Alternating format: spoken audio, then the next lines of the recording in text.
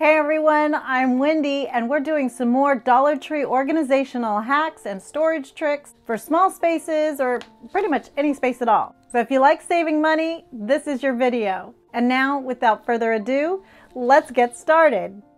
These metal storage bins are pretty much a staple at my Dollar Trees and you can use them for your drawers to organize them. I have them all around my house and I'm also going to be using these teeny tiny little hooks, also from Dollar Tree. The adhesive on these are not that great, but I want this to be temporary because I plan on redoing my nightstand. So you can't place anything too terribly heavy in there, but it's perfect for lightweight things like your remotes and your glasses. But in my bedroom, my side table is always cluttered with remotes and my cell phone and glasses. And one thing that always bugs me is trying to find the end of my cell phone charger. So I'm using one of Dollar Tree's binder clips, and if you just clip that to the side and then feed your charger in through those top clamps, you'll always have easy access to them and they won't fall out. Now I tried this on a bunch of different chargers that I had here, and all of them worked, all of them fit through there, but some of them were too small so that when you let go of it, it would fall back out. So in order to fix that, I just took some chenille stem and added it to the opening of my binder clip and then I could let it go and it wouldn't fall back through. Another option is to use their hook and loop tape. They come in either black or white depending on what color your side table is. Mine's ultimately going to be white once I redo it and it'll be easier for you to see how I actually set this up. So I just cut a little piece off and wrap one side around my cord and then the other side will go onto the side of my nightstand. Now this adhesive is no joke on this hook and loop tape, so if you're worried about ruining your finish, you may want to go the other route and use the clip-on option with the other hooks, or you can even use the real command hooks since those are removable.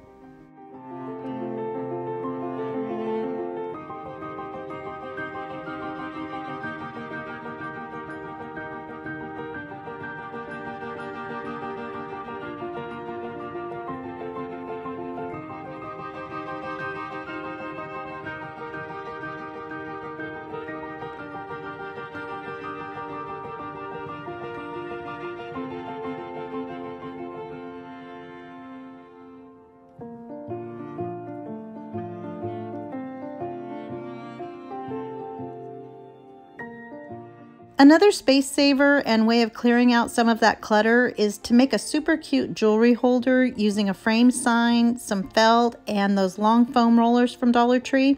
I think using pretty places for storage and organization is a win-win, especially for small spaces.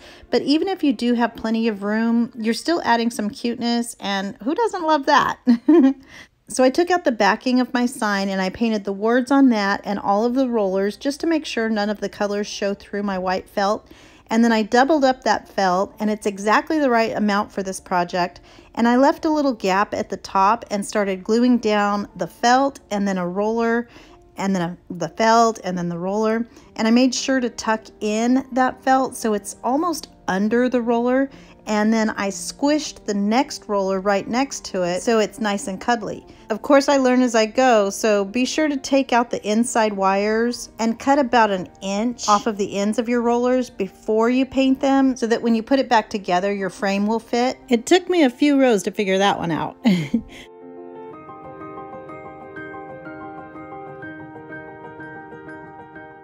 So then I just replaced my frame and pushed down the little tabbies on back to keep the board in place. And then I'm going to cut off the excess felt. Dollar Tree also carries these picture hanging kits in the automotive and hardware section. So I used some of the nail-in hooks on the sides and then screwed in a couple of the eye hooks at the top to hang my bracelets and necklaces and earrings on. So you can hang this on the wall, but I want mine to sit on a shelf in my room. So to make it stand up, I used the backing of a Dollar Tree house frame that has a kickstand and I just glued that on the back. And if you don't have an extra frame backing, Dollar Tree also sells these plate stands in black or clear, so you can display it that way too.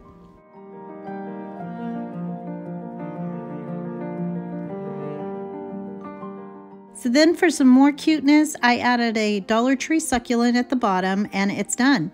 And this took me about 20 minutes, even with my mistakes, but I think it's so pretty and also gives me a chance to show you one of the beautiful handmade necklaces a sweet viewer Gretchen sent to me. So I have a really sensitive smeller and Dollar Tree sells essential oils that you can find in their candle section. And if you put some on a makeup sponge, which by the way are super spongy nowadays, more than they used to be, but then you can tuck it into your toilet paper roll or you can hide them in a linen closet by just adding a little piece of tape at the bottom so it doesn't mess up your shelf. And you get a nice little whiff when you open the cabinet door or when you're, well, you know.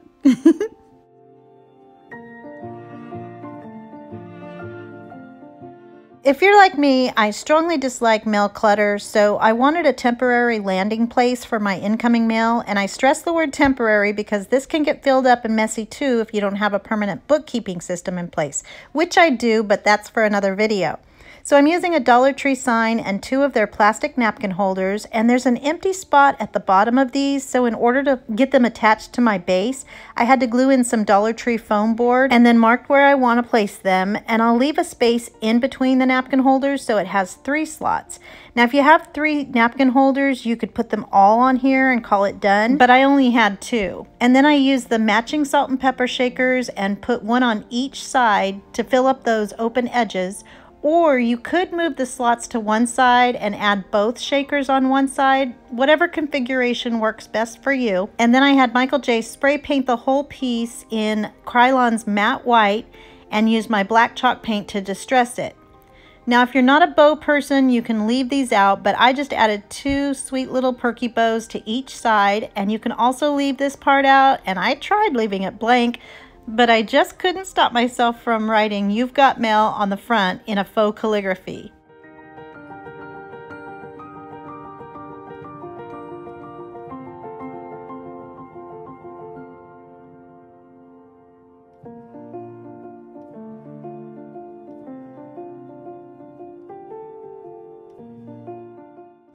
And I love picking up any black and or white pencils from the Dollar Tree because they match my house, so why not? And then I'm adding a letter opener that used to belong to my grandpa along with some greenery and you've got an adorable place to put your mail.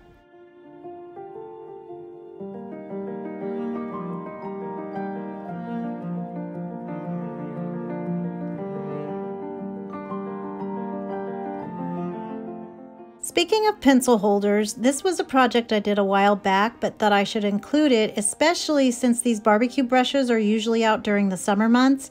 And I just pulled out the bristles, covered the holes with some Dollar Tree spackle, glued all three of them together, and then added Jenga pieces for the feet. And then just give it the finish and color of your choosing. You can distress it like I did mine, or not, whatever you want. And then I took four empty caper jars and wrapped some jute twine at the top and marked where I want them to be drilled in and I used a spade bit to do that. And there were some issues on this project that I left out of this video and since I did end up wrapping the bottom with some nautical rope anyway, there's really no need for power tools here.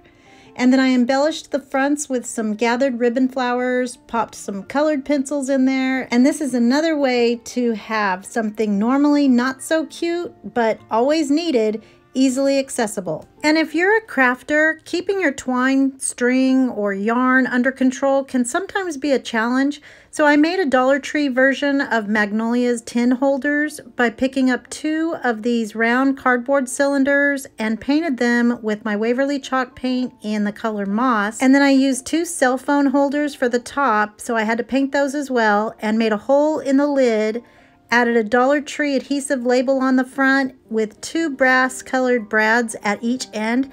And I have been using mine since I made this video originally back about a year ago. And they're still in perfect condition and I use them every single day.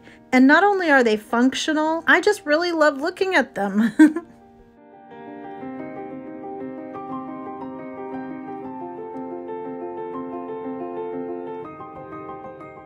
Now moving into the kitchen, I'm going to be making a Lazy Susan using a pizza and a pie pan, a wooden dowel, a small styrofoam ball, and there's a flathead tack in there too.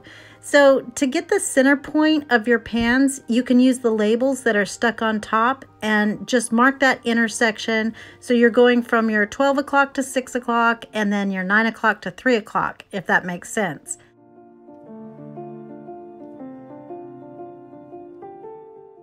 And then I'm just going to drill a hole into both of them and then poke my dowel into the styrofoam ball and then stick it up through the pie pan and make a mark of where I need to cut that dowel. And I used my new Dremel that I just got for my birthday to do that.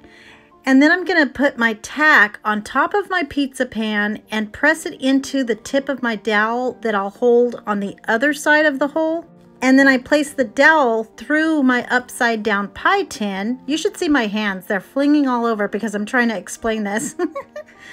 and then I added some glue to the hole of the ball and placed it on top of the dowel. And now we have a Lazy Susan for less than $3. Now you can leave the pie pan as is, or you can paint it, or you can cut a circle out of a roll of Dollar Tree's shelf grip liner so that nothing slips, and then just tuck it into one of those pesky corners of your pantry, or just on any shelf in there for easier access to your condiments, your canned goods, or whatever you want, and you can still place your other storage bins right around it. And I'll tell you, all of this organizing really got me in the mood to do a whole pantry makeover. So let me know in the comments below if you guys would like to see that. Now my spice cabinets have needed attention for some time and some of you may know I'm only 4'11 and 3 quarters so God blessed me with a 6 foot 4 hottie named Michael J and he has that vertical advantage that I don't for this project so we first went through and got rid of all the expired goods and oh my word, there were so many. We threw out so much. And then after the shelves were cleared, we vacuumed and wiped down all of the shelves. Well, actually he did. And then we filled our canisters and got all of those packaged dry goods out of the pantry and then we're going to place them up here because he can reach them but I can't so I don't even really know what's on the top shelves. And this is a good time to adjust your shelves so that they're more functional for whatever your needs are. And we had actually purchased a spice rack that extends to fit into the size of cabinet that you have but it has a little bump in the middle. So I decided instead to use these Dollar Tree signs and I think the 36 inch upper cabinets are pretty standard in that width. So these were perfect because they're 18 inches. And I just put two of those stacked in front of that brace thing that holds the cabinet up and then pulled those a little bit forward and then put one on top of the brace and those stacked ones and then one on the bottom so they're stair stepping, if that makes sense. And then you can add your spices and seasonings and you'll be able to see them easily. And our metal rack cost $25 on Amazon and this only cost us $4. Of course you can paint this too to make it cuter, but I thought this would be easier for you to see exactly how I built it. And then we'll deal with the other side in just a minute. And then another option for your spice storage and some cuteness is to use the smaller sized wood signs. And these are both usually found with the frames and pictures. So I pulled off the metal pieces from the front and the coffee words, the little pop-up words, and then I had Michael J take them outside and sand and paint them along with three more of those wire bins. And he painted them in Krylon's matte black and then I replaced the metal pieces once they were all dry, and then I'll start attaching my bins. So I did the bottom first, and I'm using another one of my birthday presents, a Milwaukee staple gun. And all of these tools will be listed in my Amazon store so that you know exactly what brand and model I'm using. But if you don't have a staple gun, that's okay too because you can use one of Dollar Tree's zip ties and just wrap it around like you see me doing here and pull it super, super tight and those will stay right in place. And then we'll go back in and touch up those staples with some black paint so that you can't even see them. Now I didn't notice until afterwards, but there are these little seams on the bins, so just make sure you point those toward the back. And then you can add your spices, and I just looked for the cute bottles, and then I'll put some garlic in the top bin, and some fresh basil would be really awesome, but I only had some Dollar Tree greenery. But I love this so much, even though I do have room in my cupboard, It's just a super functional way to add some more cuteness to your countertops.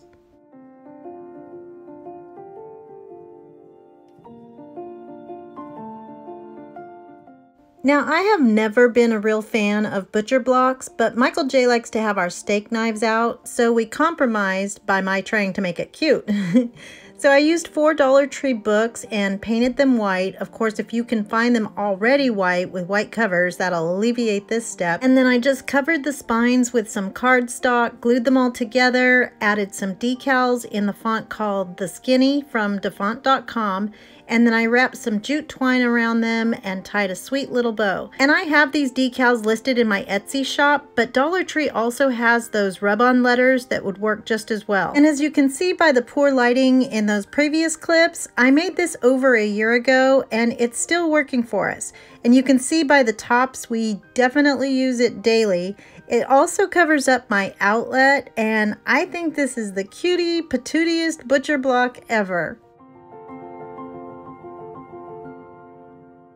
Now, if you're short on counter or drawer space, you can put your measuring cups and spoons on a cookie sheet by using these magnetic buttons you'll find in the crafter square and then just attach them to the handles with some sort of permanent adhesive. I'm using some cement from Dollar Tree. Just make sure that the handles are flat and then I painted the back of my cookie sheet with a couple of coats of white chalk paint and then gave it an enamelware edge with the Dollar Tree furniture marker in black.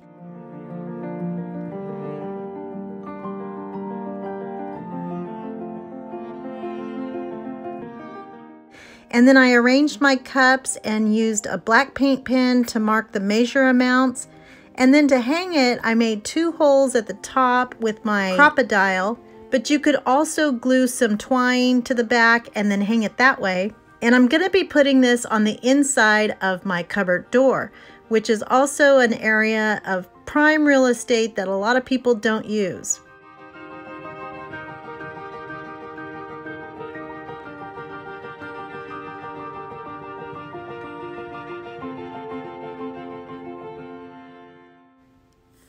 So when I went to the kitchen to hang it up, Michael J was getting ready to cook something yummy, and it gave me another idea. So you've probably seen these sink drain racks before, and they're pretty pricey. So I'm going to be using two of Dollar Tree's suction hooks and a cooling rack. And these guys can really hold some weight. So I attached them to the corners of the rack just over the side of our sink. And then I can wash these beautiful homegrown tomatoes from our sweet next door neighbors. And then I'll just place them on the rack to dry. And you can also use this for dishes or anything that you want because it's pretty heavy duty. And we also had some yummy cabbage soup for dinner.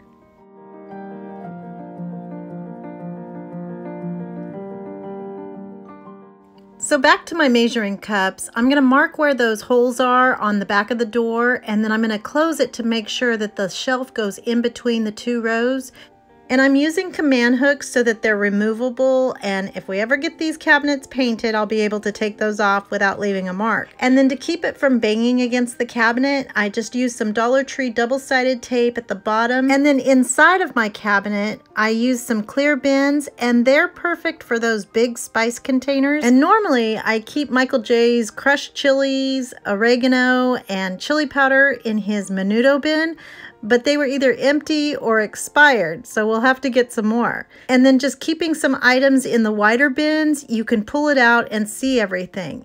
And who knows what's happening up there because that's foreign land to me.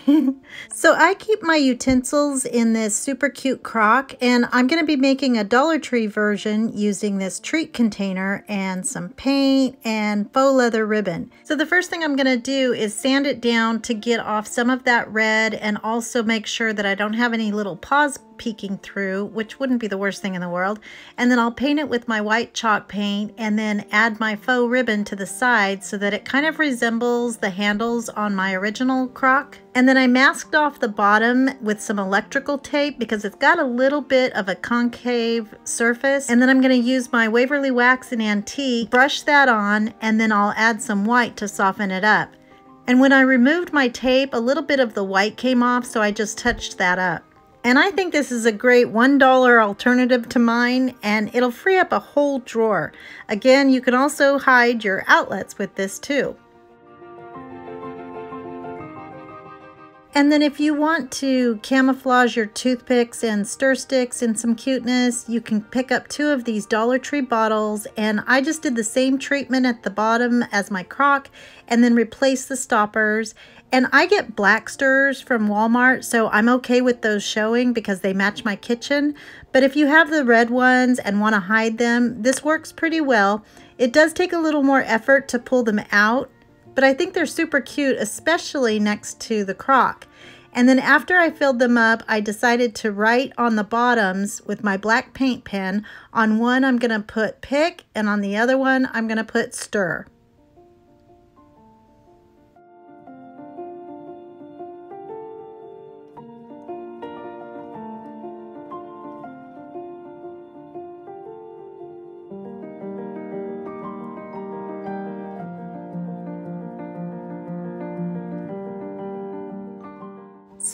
We moved to this house in 2016, this gas range came with it and we haven't replaced it yet, but I wanted to use the space above it for more storage. So I checked my scrap bin of wood and I couldn't find a 1x4 long enough for the top. So I ended up using this Christmas sign I made in one of my very first videos and then for the sides, I used some scraps from our back patio slat wall that we made and just attached the top to the sides with some wood glue and a brad nailer and then painted it white and added some black distressing on the edges.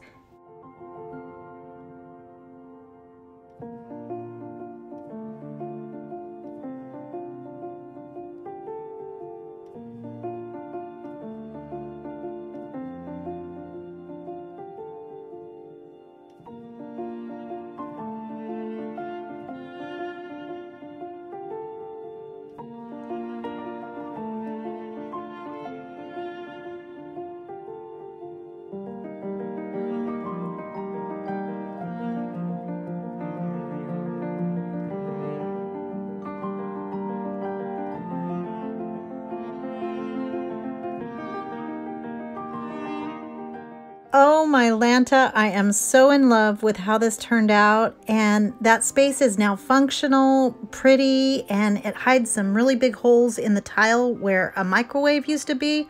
I don't know why we didn't do this sooner.